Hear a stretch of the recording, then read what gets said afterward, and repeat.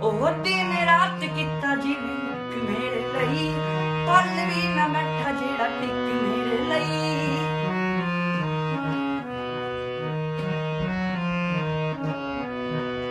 ਉਹ ਦਿਨ ਰਾਤ ਕੀਤਾ ਜਿਵੇਂ ਇੱਕ ਮੇਰੇ ਲਈ।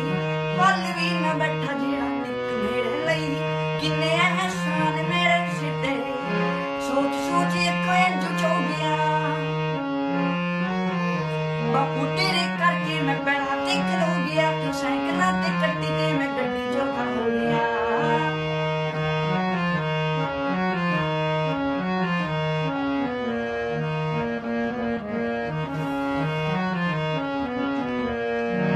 marchia con verità